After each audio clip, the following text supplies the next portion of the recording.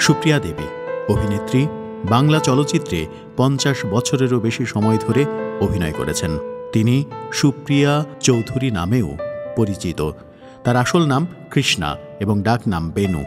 দু হাজার এগারো সালে বঙ্গভূষণ পুরস্কার অর্জন করেন যা পশ্চিমবঙ্গের সর্বোচ্চ বেসামরিক উপাধি।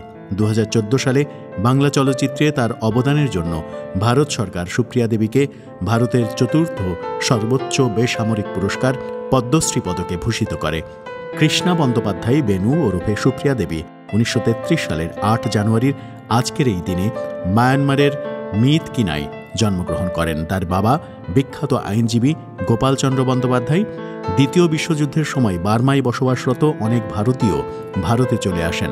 সুপ্রিয়া দেবীর পরিবার শেষ পর্যন্ত দক্ষিণ কলকাতায় বসবাস শুরু করেন। সুপ্রিয়া দেবীর অভিনয়ে অভিষেক ঘটে মাত্র সাত বছর বয়সে তার বাবার পরিচালিত দুইটি নাটকে অভিনয়ের মাধ্যমে। তিনি ছোটবেলা থেকে নৃত্যের প্রতি অনেক আগ্রহী ছিলেন, এমনকি তিনি থাকিন্নু থেকে একটি পুরস্কারও অর্জন করেন। উনিশশো আটচল্লিশ সালে বন্দ্যোপাধ্যায় পরিবার তাদের ভালোর জন্য কলকাতায় পুনরায় বসবাস শুরু করে।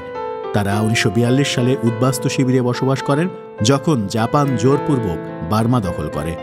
তরুণ সুপ্রিয়া তার পরিবারকে বল প্রয়োগের মাধ্যমে পায়ে হেঁটে কলকাতায় নির্বিঘ্ন পরিবেশে ফিরে আসতে বাধ্য করে।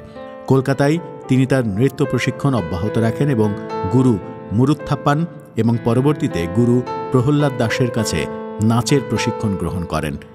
উনিশশো চুয়ান্ন সালে সুপ্রিয়া দেবী বিশ্বনাথ চৌধুরীকে বিয়ে করেন এবং পরবর্তীতে তাদের একমাত্র কন্যা সোমা জন্মগ্রহণ করে।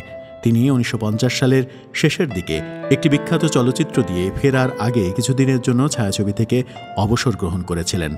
উত্তম কুমারের সাথে কিছু হিট সিনেমার কাজ করার পর তাদের মধ্যে একটি সুসম্পর্ক তৈরি হয়েছিল। এরপর থেকে তারা অনেক বছর একসাথে বসবাসও করেছেন।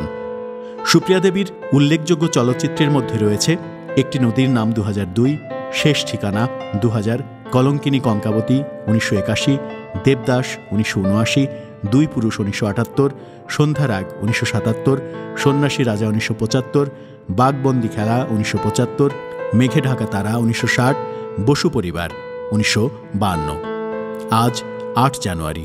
বাঙালি জনপ্রিয় অভিনেত্রী সুপ্রিয়া দেবীর শুভ জন্মদিন।